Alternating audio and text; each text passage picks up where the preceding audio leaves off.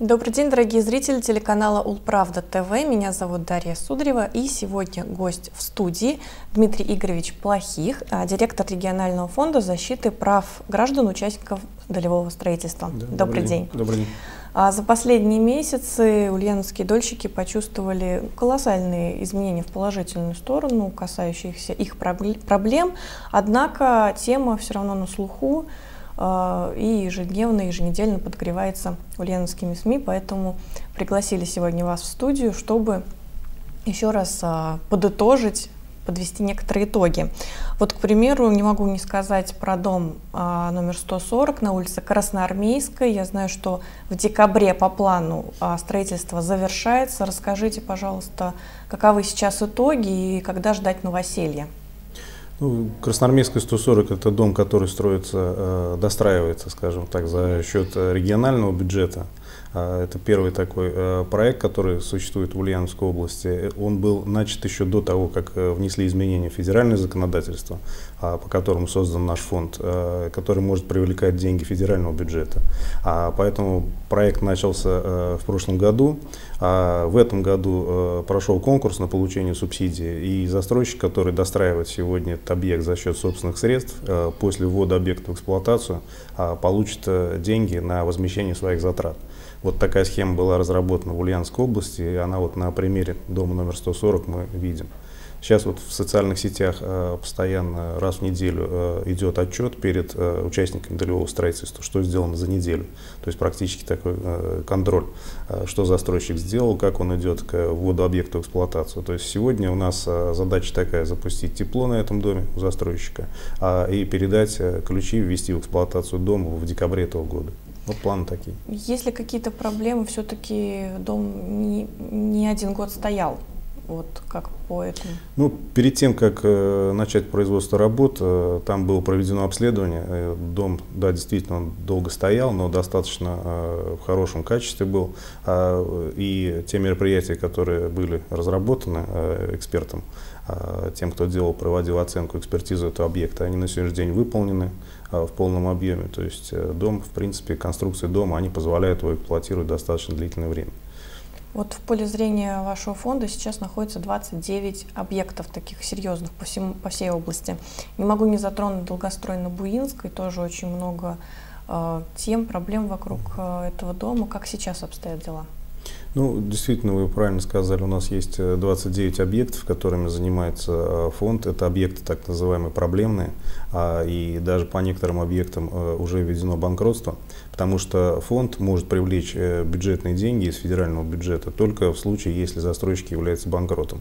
А у нас на сегодняшний день 4 таких застройщика, а, и у нас те денежные средства, которые будут выделяться из федерального фонда Дом РФ, так у нас есть публично-правовая компания, которая э, выполняет софинансирование объекта по достройке э, с учетом э, тех средств, которые будут выделяться из регионального бюджета.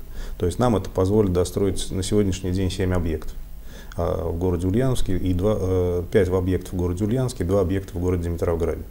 Э, эти средства уже запланированы на 2020 год. Э, часть средств финансирования Ульяновской области, оно уже внесено в бюджет Ульяновской области. А далее будет заключено соглашение с Дом РФ, а, и мы приступим в 2020 году к достройке этих объектов. Расскажите поподробнее об этих объектах. Ну, в том числе и Буинская, потому что этот объект э, как бы наиболее сконцентрирован, там более почти тысячи э, дольщиков в одном объекте. А с января начнется оценка этого объекта, то есть э, возможность его достройки и необходимые средства для его достройки будут экспертами выяснен окончательный расчет произведен, который позволит рассчитывать на получение субсидий с федерального фонда. То есть эта цифра будет э, зафиксирована, и э, дольщики задают вопрос, естественно, самый главный вопрос – это когда. Э, вот э, на этот вопрос э, мы сможем ответить э, уже ближе к апрелю месяцу, когда фонд э, московский э, примет решение о достройке этого объекта, либо о выплате компенсаций. Э, вот мы к этому вопросу еще раз вернемся, и потому что законом э, сейчас разработаны э, все необходимые нормативы, которые позволяют называть сроки. То есть фонд принимает решение о достройке, если объект возможно достроить ранее, чем три года. То есть обязательства перед дольщиками должно быть выполнено. То есть, э, когда фондом будет принято решение об этом, то арбитражный суд утвердит это решение. Там будут и даты, и сроки, и деньги, которые позволят достроить этот объект. Угу. Ну вот кроме Буинска еще на панорамный тоже очень много ну, вопросов. Панорамный э, объект, он в высокой очень степени готовности. Там в, в апреле-мае месяц, когда мы собирались, э, застройщик там не банкрот на сегодняшний день. А, но финансовое положение вот такое, что ему ну, практически не хватает средств для достройки. А, там достаточно серьезную модернизацию нужно сделать инженерных сетей, это канализационно-насосные станции. И регион к этому подключился, к этому процессу. То есть э, нам были даны э, как бы заверения, что найдутся средства для модернизации КНС э, в этом микрорайоне, которые позволят увеличить мощность с учетом развития этого района. То, что сегодня там появилась школа, там появился детский сад, там появляются новые жилые дома, а сети уже как бы этот объем уже не принимают. Поэтому будет выполнена модернизация сетей в следующем году, э, что позволит э, дальше развивать этот микрорайон. То есть это участие как раз региона в этом процессе, то есть э, модернизация сетей. А, поэтому я думаю, что те планы, которые застройщик ставил по вводу объекта в эту эксплуатацию в этом году, я думаю, он их выполнит. Вот вы сказали, что вообще 7 объектов, да, на которые будут выделены федеральные средства в следующем да. году. Вот расскажите еще, какие объекты, может быть, на каких-то стоит больше внимания уделить? Ну, у нас э, в Димитровграде есть два объекта. Там один достаточно высокой степени готовности. Это дом э, технопову ЖК, так называемая фирма застройщика. Они тоже стали банкротами, к сожалению.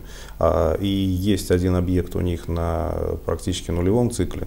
А, вот эти два объекта, они вошли в этот перечень. А, в городе Ульяновске а, у нас это ЖК «Новая линия» на улице Кроницкого, это застройщик «Селен». У нас есть объект Буинской, который вы называли. У нас есть еще ряд объектов застройщиков, которые находятся в новом городе, это ЖК «Авиатор». То есть мы ведем по ним работу. А, и поэтому вот эти средства, а, которые сегодня запланированы, а, я думаю, что они в следующем году придут, потому что уже такую информацию давали, то есть Сергей Иванович Морозов, он с участием и Алсун Бракшина с Адридиной, то есть они были в Москве, с Виталием Леонидовичем Мутко договорились о том, что Ульяновская область получит финансирование в 2020 году, но при условии софинансирования Ульяновской области. Поэтому мы как бы с Минстроем настаивали на том, чтобы эти деньги были заведены в бюджет. Вот я думаю, сейчас у нас Э, принятие бюджета было на прошлой неделе. Я думаю, люди там увидят, горожане увидят эти средства. То есть бюджет у нас публичный. Э, вот, и первая цифра там в, районе, в размере 100 миллионов рублей, она уже заведена туда что позволит нам получить финансирование на следующий год и начать работать. То есть уже выполнять обязательства перед дольщиками, к сожалению, застройщик которых стал банкротом. Поэтому будем следить за развитием событий да, конечно. весь следующий год. Не могу тоже не поговорить о другой о застройщике компании «Запад». Вот, это не является обманутыми дольщиками люди не являются, однако проблема тоже возникла не первый месяц, даже, я знаю, дело доходит до митинга, люди хотят делать митинг, вот расскажите, как обстоят дела? Ну, я бы сказал, что вот э, митинги там и пикеты, да, это такой э, скажем так, крайне, крайние меры, на которые люди э, могут решиться. Но на сегодняшний день такого настроения нет. Есть э, ну, нормальный выплеск эмоций. Да? То есть э, люди ждут долго своей квартиры. Они хотят понять, э, они хотят конкретных сроков, э, конкретных дат, когда их объекты будут доведены. И чем вызвано вот это недовольство? Э, тем, что э, и, может быть, и с нашей подачи тоже э, фонда, э, мы тоже, как и Сергей Иванович Морозов, губернатор, наставили на том, чтобы людям дали реальные графики под реальные э, средства да, они каждый месяц присылали э, уведомление о том, что ваш дом будет вводиться через месяц, когда там, э, условно говоря, свайное поле. То есть понятно, что он не будет введен э, через месяц. Поэтому вот это вот э, недоговорки какие-то, да, и э, оттягивание постоянно срока, оно, естественно, людей э, беспокоит и будоражит. А на сегодняшний день э, там, да, действительно, э, застройщик не является банкротом, э, о чем неоднократно в средствах массовой информации сообщается, что все, Запад банкрот там и, условно говоря, кто будет достраивать эти объекты, непонятно. Вот мне тоже задавали вопрос, а почему там вроде бы на встрече, которые у нас с дольщиками проходят, и в Засвияжье, и а, в левобережной части, то есть э, всегда там находится рядом фонд. Ну, потому что а, наше а, как бы нахождение рядом с этим застройщиком, оно тоже а, должно привести к тому, чтобы не в наших интересах, чтобы застройщик стал банкротом. Да? А у нас есть на сегодняшний день куда тратить бюджетные средства в Российской Федерации в Ульяновской области. Поэтому э, максимально нужно сделать так, чтобы застройщик застроил сам эти объекты. А вот на встрече, которую мы проводили на прошлой неделе за Свияжской администрацией, э, были названы цифры э, и источники получения денежных средств. То есть это э, объекты, которые застройщик будет сдавать э, в городе Димитровграде, э, и был разговор о получении кредитной линии. Э, были даны э, новые графики по шести объектам. Это два объекта в новом городе, 16-19 э, дом, и четыре объекта в Засвияжском районе.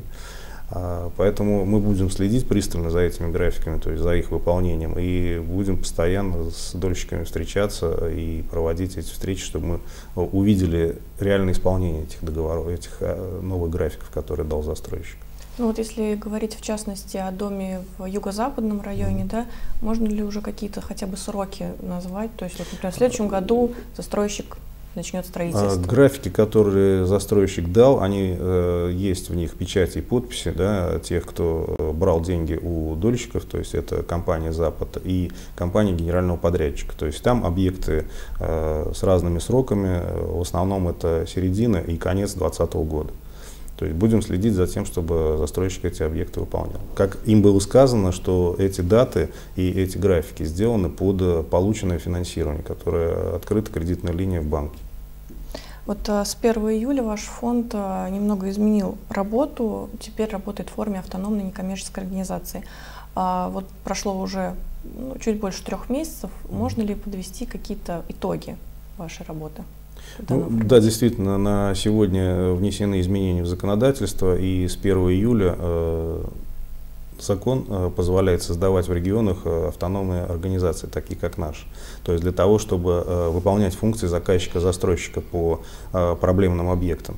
То есть если произошла такая ситуация, как банкротство застройщика, то при принятии решения Московским фондом публично-правовой компании о достройке этого объекта, объект передается в региональный фонд. То есть мы выступаем заказчиком-застройщиком. То есть все э, обязательства, которые были у э, застройщика перед дольщиками до вот этой процедуры введения банкротства, берет на себя фонд. То есть это фактически государственный застройщик. А, то есть э, мы несем такие же гарантии за объект, то есть также 5 лет, как это у любого другого застройщика. То есть все обязательства мы обязаны выполнить. Ну и, может быть, поделитесь планами на следующий год. Ну, у нас э, следующий год он достаточно насыщенный будет, потому что я думаю, что все э, жители Ульяновской области уже слышали цифры, которые назывались. Да? А наша задача начать работы на э, вот этих семи объектах, о которых я говорил. Это порядка э, 1 миллиарда 400 миллионов, которые мы должны получить из федерального бюджета, и 325 миллионов это из регионального бюджета, то есть это почти миллиард 700 миллионов. То есть это те деньги, которые позволят Э, выполнить обязательства перед э, дольщиками э, тех объектов, где застройщики стали банкротами. У нас очень насыщенный будет 2020 год. Спасибо большое, Дмитрий Игоревич. Ну, мы, мы будем следить за развитием событий. Да, приглашайте, пожалуйста. Спасибо большое. Наше время подходит к концу. До новых встреч. Следите за новостями. До свидания.